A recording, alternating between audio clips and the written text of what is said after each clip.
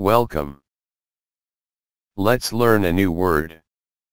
Umbilicus. Umbilicus. Umbilicus. Umbilicus. Umbilicus. That was great. Goodbye for now.